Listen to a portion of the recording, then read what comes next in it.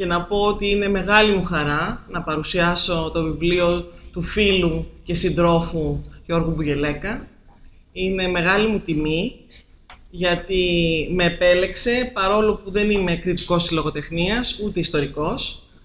Είμαι απλά πανεπιστημιακός, πολιτικά στρατευμένη ε, και το πολιτικά στρατευμένη στην αριστερά είναι κάτι το οποίο νομίζω ότι μαζί με ε, την αγάπη για τη λογοτεχνία και την ιστορία ε, είναι επαρκή ε, χαρακτηριστικά για να μπορέσω να μπω και να εξιστορήσω κι εγώ το πώς είδα το βιβλίο.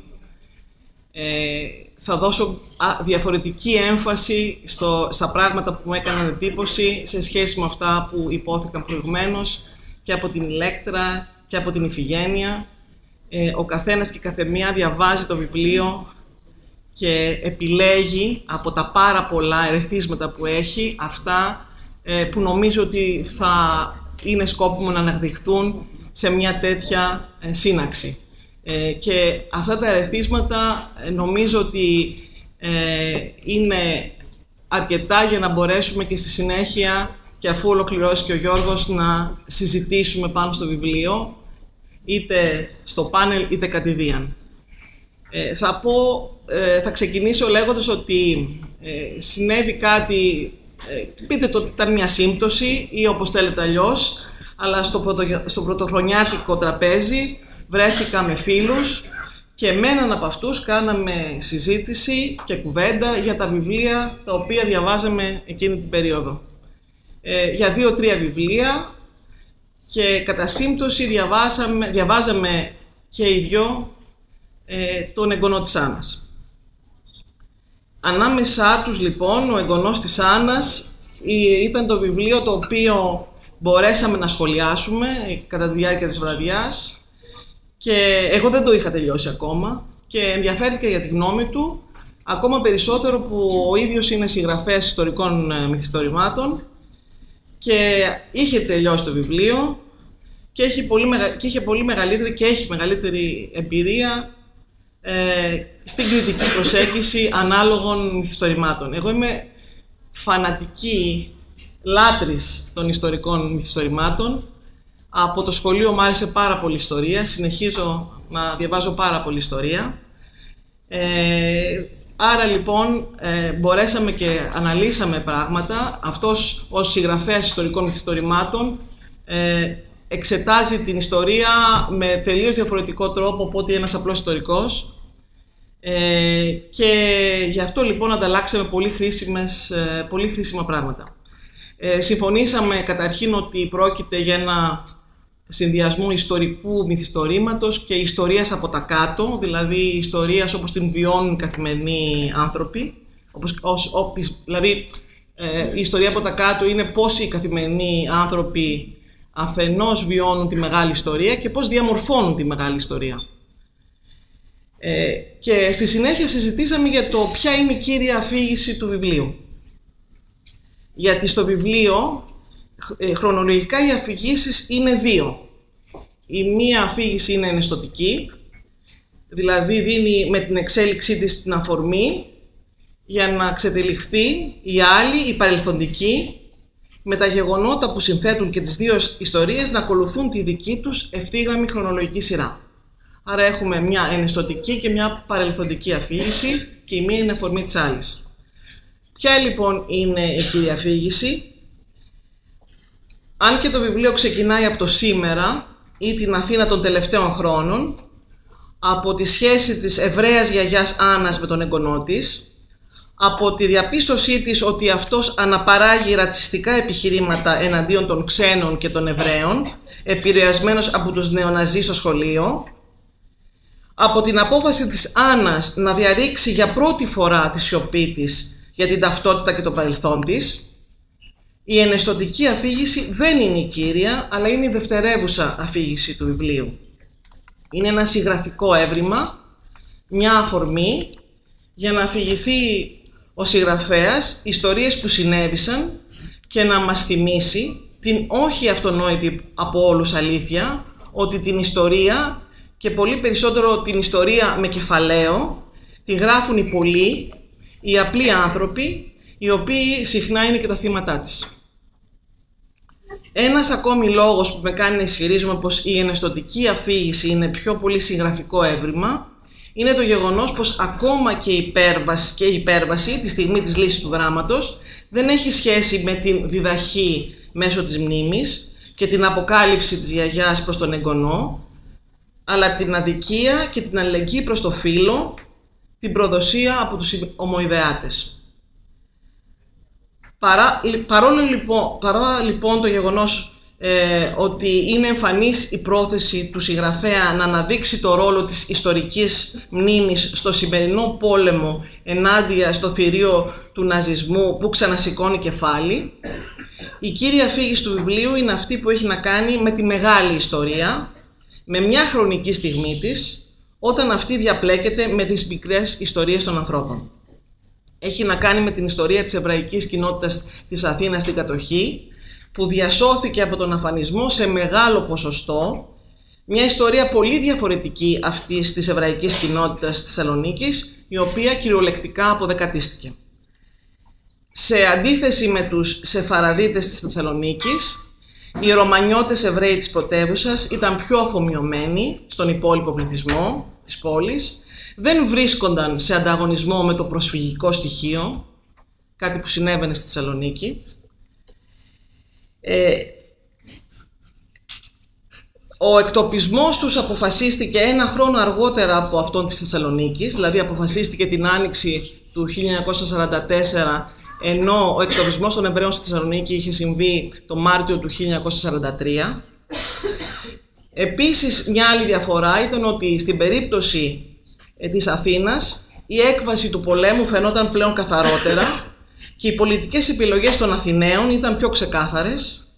Ο Ραβίνος της Αθήνας, όπως υπόθηκε, δεν επέλεξε τη συνεργασία με τους Γερμανούς, αλλά πέδρασε με τη βοήθεια του ΕΑΜ και κατέστρεψε τα αρχεία της κοινότητας ε, η ενεργή υποστήριξη του εβραϊκού πληθυσμού περιέλαβε και, και τις επίσημες αρχές του κατοχικού κράτους και την Εκκλησία. Αβίαστε εδώ και χωρίς πολλή σκέψη, θα έλεγα πως η αφήγηση από το συγγραφέα της παλιάς ιστορίας, αυτής του παρελθόντος, πρέπει να ειδωθεί όχι απλώς σαν ανάμνηση, αλλά σαν μνήμη και σαν υποχρέωση μνήμης.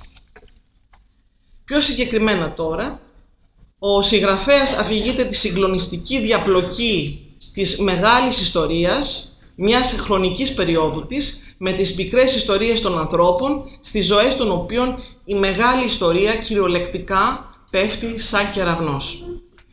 Ειδικά από το ξεκίνημα της κύριας αφήγησης, αντιλαμβάνεται ο αναγνώστης ότι οι ήρωες του συγγραφέα είναι απλοί καθημερινοί άνθρωποι με τα βάσανα τους καημούς, τις αγωνίες και τους προβληματισμούς τους, τα οράματά τους. Κάθε στιγμή που εξιστορείται, είτε πρόκειται για στιγμές της καθημερινής ζωής, είτε για τις κορυφαίες στιγμές που η μικρή τους ιστορία εμπλέκεται με τη μεγάλη, όπως ο πόλεμος, ο διωγμός, ο θάνατος, ο συγγραφέας εισβάλλει στην ψυχή των ανθρώπων που βρέθηκαν στη δίνη σημαντικών εξελίξεων και γεγονότων ανοίγει πορτάκια της ψυχής, ερμηνεύει τις σκέψεις τους, αναδεικνύει τα συναισθήματά τους, τους φόβους τους, τα διλήμματά τους, μπαίνει στην ψυχοσύνθεσή τους και η αίσθηση που δημιουργείται στον αναγνώστη είναι ότι αυτό το κάνει με άνεση και ευκολία. Εδώ θέλω να επισημαίνω κάτι που ίσως είναι σημαντικό. Στη συζήτηση με το φίλο στον οποίο αναφέρθηκα στην αρχή, αυτός μου είπε πως ο συγγραφέας πρέπει να είναι αυτό που λέμε καλός άνθρωπος, με καθαρή ψυχή. Και αυτό φυσικά το είπε χωρίς να το γνωρίζει. Το έχω ήδη μεταφέρει αυτό στο Γιώργο και το έχουμε συζητήσει. Μου έκανε εντύπωση και ρώτησα το φίλο μου από πού βγαίνει αυτό το συμπέρασμα. Και μου εξήγησε. Σε ένα μυθιστόρημα, σε ένα μύθο τέλος πάντων, ο συγγραφέας έχει συνήθως την τάση να ανακαλύπτει και να πλάθει χαρακτήρες που είναι κατά κανόνα αυτό που λέμε οι καλοί και υπάρχουν περιπτώσεις που ξεχνάει πως χρειάζονται ένας ή και περισσότερο κακοί, περισσότεροι μάλλον κακοί. Όπως και να είναι, μύθος χωρίς κακό δεν γίνεται. Εδώ όμως, σε αυτό το βιβλίο, όλοι οι χαρακτήρες, οι φανταστικοί, αυτοί που πλάστηκαν από το συγγραφέα, είναι καλοί ή έστω χαρακτήρες που μεταλλάσσονται όσο ο μύθος εξελίσσεται, αλλά ακόμα και σε αυτή την περίπτωση δεν είναι δαιμονικοί. Βέβαια υπάρχουν πλήθος κακοί στο μυθιστόρημα, από την ανεξάρτητη δεξαμενή των πραγματικών προσώπων που συμμετείχαν στο δράμα, αλλά αυτοί πάντοτε λειτουργούν περισσότερο σαν φόντο, κινούνται στο μισοσκόταδο, σε ένα επίπεδο πιο πίσω, φαίνονται μόνο αμυδρά, έστω και αν υπάρχουν στιγμές που επηρεάζουν την εξέλιξη και αυτές δεν είναι λίγες. Σε καμιά περίπτωση όμως δεν είναι γέννημα του μυαλού του συγγραφέα. Αυτή την εξήγηση λοιπόν, φίλε Γιώργο, μου έδωσε ο φίλος για την καλοσύνη σου.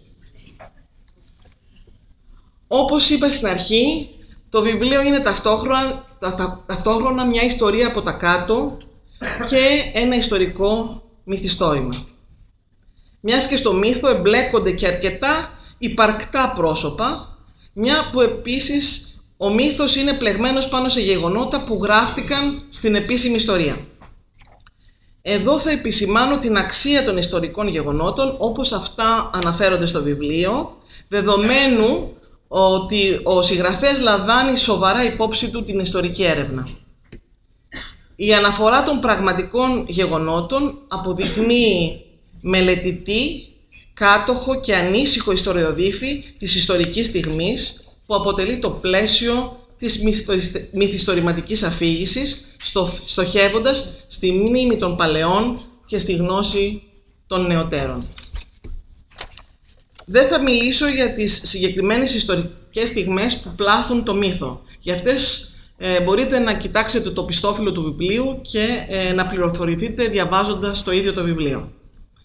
Απλώς για άλλη μια φορά θα πω πως ο συγγραφέας με εντυμότητα αναζητεί την ιστορική αλήθεια ακόμα και αν γνωρίζει, όπως γνωρίζουμε και όλοι και όλες, ότι αυτή η ιστορική αλήθεια μπορεί να προσεγγιστεί ή να ερμηνευτεί με διαφορετικούς τρόπους, γι' αυτό βάζουμε και την αλήθεια εντός εισαγωγικών πάντοτε.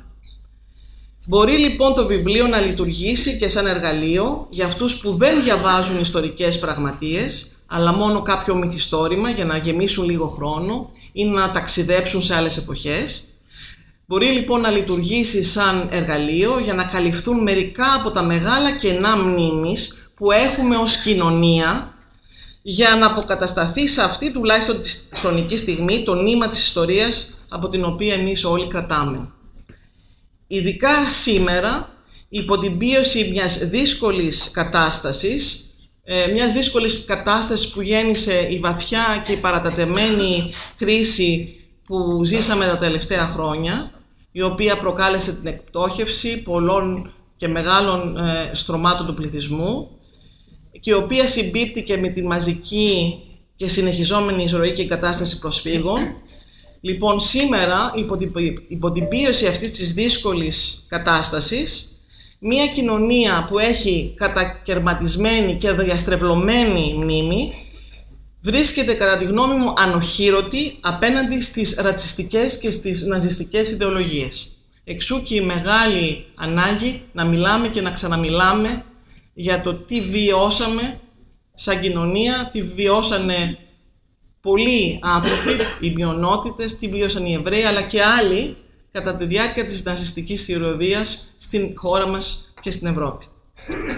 Ας μου επιτραπεί πριν κλείσω την παρουσίαση του βιβλίου να μοιριστώ λοιπόν μαζί σας επιλεκτικά συμπεράσματα της ιστορικής έρευνας ε, για τους Εβραίους κατά την περίοδο της ε, κατοχής από άλλα δικά μου διαβάσματα και εδώ να ευχαριστήσω τον Γιώργο που με έκανε να ξεσκονίσω λίγο τη βιβλιοθήκη μου και να κοιτάξω βιβλία όπως ε, οι ανεπιθύμητοι συμπατριώτες του Γιώργου Μαργαρίτη ε, όπως το βιβλίο, όπως την, το αφιέρωμα, το μεγάλο αφιέρωμα και ήταν το πρώτο που διάβασα εκείνη την εποχή των σύγχρονων θεμάτων του 1994 ε, οι Εβραίοι της Ελλάδας. Ε, και επίσης να ξανακοιτάξω ένα πολύ αγαπημένο μου βιβλίο. Είναι το βιβλίο του Μωυσή Μιχαήλ Μπουρλά, Έλληνας Εβραίος ε, και Αριστερός ε, και με όλα αυτά έτσι να περιπλανηθώ λίγο σε παλιότερα διαβάσματα, σε παλιότερες εποχές, όταν ήμουν νεότεροι, όταν όλοι εδώ σε αυτή την αίθουσα είμαστε πολύ νεότεροι και νεότερες. Και να, και να σκεφτώ τότε τον προβληματισμό που ξεκίναγε ιδίως στις αρχές της δεκαετίας του 90 για την ιστοριογραφία και πώς αντιμετώπισε τις, τις, ε, τις μειονότητες. Ήταν πολύ φτωχά φτωχές οι μελέτες τότε, αλλά από τότε έχουν σημειωθεί αρκετές ε, πρόοδοι, αρκετή πρόοδος. Λοιπόν, ε, να μιλήσω λοιπόν και να πω ότι, γιατί το λέω αυτό, γιατί ε, το βιβλίο αναφέρεται στην περίπτωση των, ε, της, της εβραϊκής κοινότητας της Αθήνας.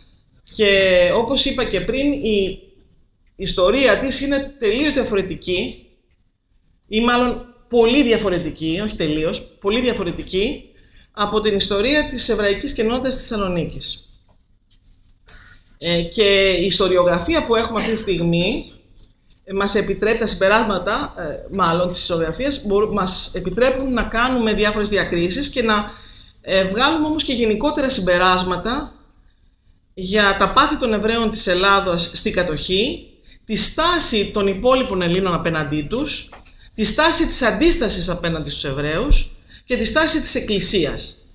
Ε, νομίζω λοιπόν ότι δεν θα πρέπει δηλαδή να ε, παρασυρθούμε από το γεγονός ότι η περίπτωση των Εβραίων της ε, Αθήνας ήταν μια ε, περίπτωση όπου συναντήθηκε η αντίσταση με, το, με, την, ε, με τα γεγονότα και την, όλη τον διωγμό των Εβραίων και έδωσε η, λοιπόν η αντίσταση και το ΕΑΜ έδωσαν, έπαιξαν πρωταγωνιστικό ρόλο για, σε ορισμένα από τα και μάλλον σε, σε πολύ καθοριστικές σε πολύ καθοριστικές πλευρές των εξελίξεων. Ε, να ξεκινήσω λοιπόν από, το πρώτο, από την πρώτη διαπίστωση της ιστοριογραφίας και είναι καλό να το θυμηθούμε εδώ σήμερα είναι ότι αναλογικά, σε σύγκριση δηλαδή με τα υπόλοιπα ευρωπαϊκά κράτη που βρέθηκαν κάτω από το ζυγό του άξονα, η καταστροφή των Εβραίων της Ελλάδας βρίσκεται ως ποσοστό του συνολικού εβραϊκού πληθυσμού μεταξύ των πρώτων ε, θέσεων στην Ευρώπη ε, είχαμε τον αφανισμό 50.000 ε, Εβραίων σε σύνολο 70.000 Εβραίων κατοίκων ε, εκείνη την εποχή. Είναι ένα ποσοστό 70%. Μόνο, υπογραμμίζω μόνο στην Πολωνία, στην Ολλανδία, στη Λεθουανία και στη Λετωνία είχαμε υψηλότερο ποσοστό από αυτό της Ελλάδας. Ε, δεύτερο συμπέρασμα είναι, έχει, το δεύτερο συμπέρασμα έχει να κάνει με την αντίσταση. Την αντιφασιστική αντίσταση. Ε, έχει, έχει διαπιστωθεί και έχει τεκμηριωθεί από την ιστοριογραφία ότι υπήρχαν πολλά στεγανά και τεράστιες σιωπές ε, σε, στις σχέσεις του υποεξόντωση ελληνικού εβραϊσμού με την αντιφασιστική αντίσταση. Ε, υπήρξε απόλυτη σιγή του αντιστασιακού τύπου στις διώξεις και στην τύχη των Εβραίων δεν υπήρξε καμία μαζική ή άλλη κινητοποίηση μικρής ή μεγάλης έκτασης ενάντια στις κινήσεις των γερμανικών αρχών. Ο διωγμός των Εβραίων της Θεσσαλονίκης ήταν στην πράξη η μόνη ίσως σημαντική απόφαση των δυνάμων κατοχής που συνάντησε τόσο μικρή αντίσταση, τόση σιωπή και κοινωνική παθητικότητα στην κατεχόμενη Ελλάδα. Στην απελευθέρωση.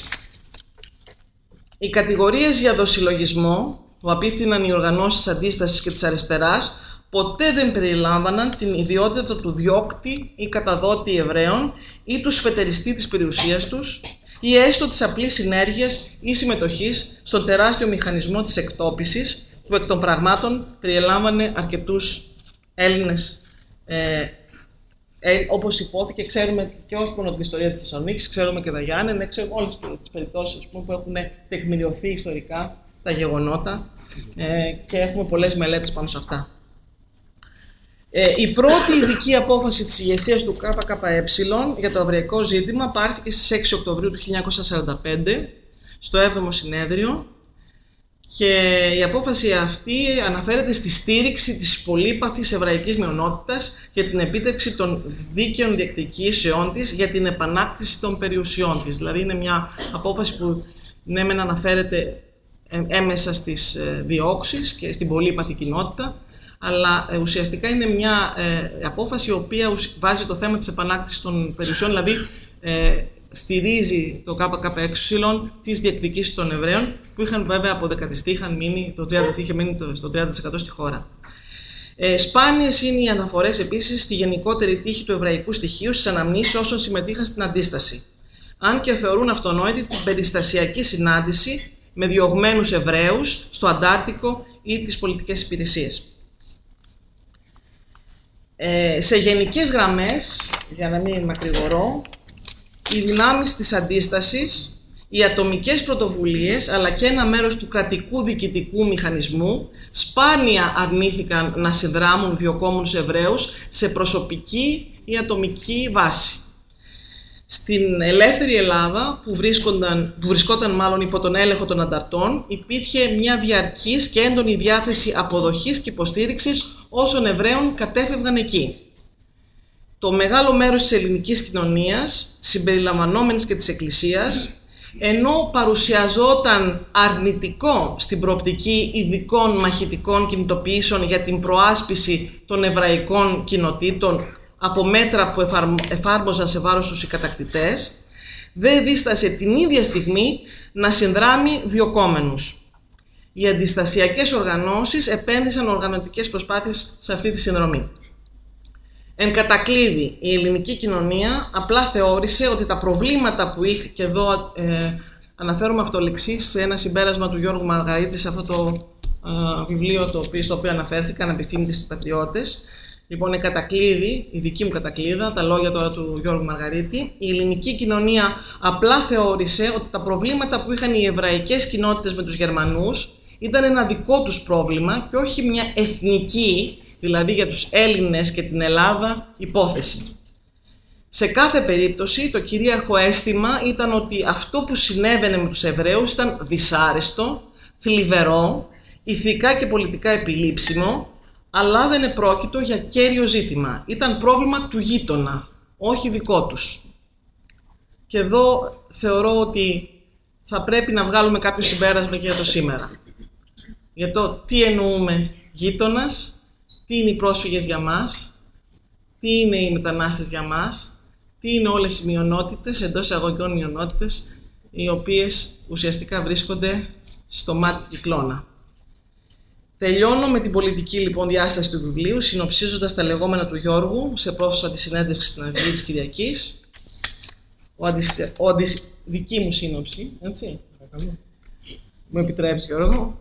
Ο, ο αντισημιτισμός αποτελεί μία από τις πολλές αποκριστικές μορφές του ρατσισμού. Δεν πρέπει να σταματήσουμε να μιλάμε για το ρατσισμό και τις αποτρόπες μορφές που πήρε με τον ναζισμό. Ε, η σιωπή, και εδώ προσθέτω και η λύθη θρέφουν το θηρίο του νεοναζισμού στη χώρα μας και στην Ευρώπη, να μιλάμε για την ιστορία και να τη συνδέουμε με το σήμερα. Ευχαριστώ. Ευχαριστώ.